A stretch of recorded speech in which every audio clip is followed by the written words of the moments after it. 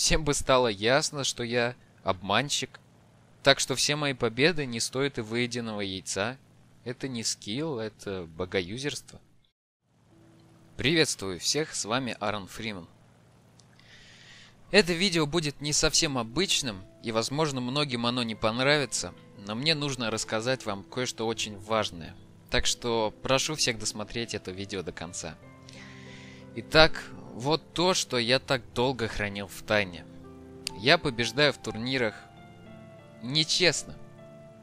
Я думаю, многие из вас, хотя бы поверхностно, знакомы с постами Фрица, Лура или Саши Кинга на форуме.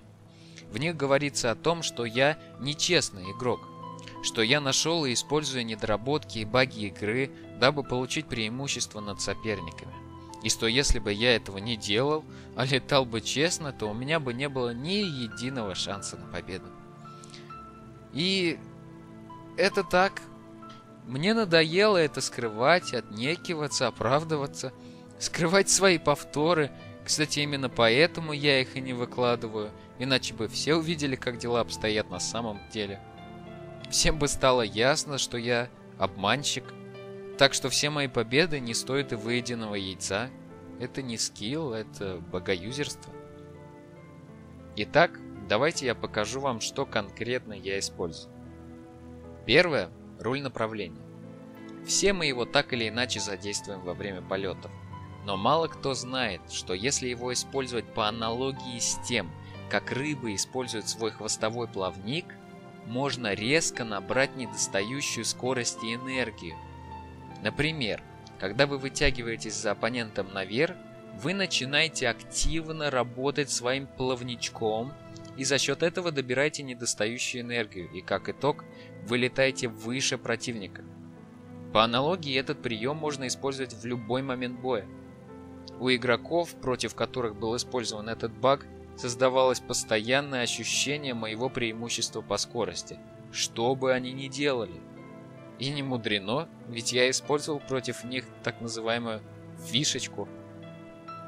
Второе – использование шасси во время полета. Данная фишечка является даже более эффективной, чем предыдущая.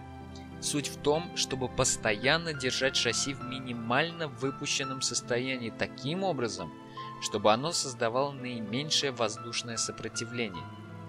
Путем тестов я выяснил, что даже при минимальном выпуске шасси их вес перестает учитываться в летной модели самолета, что в свою очередь очень сильно влияет на ЛТХ самолета в лучшую сторону.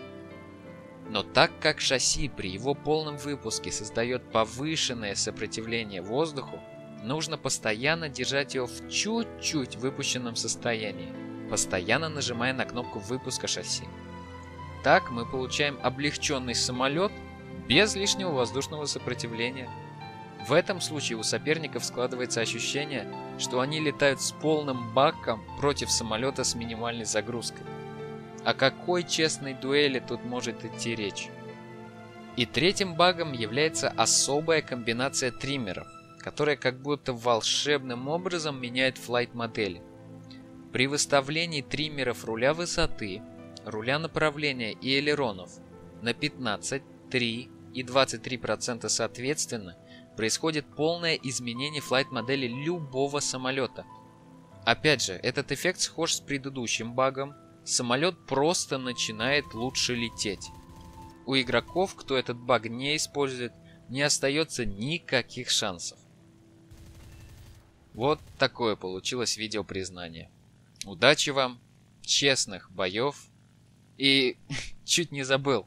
С 1 апреля вас! Ребят,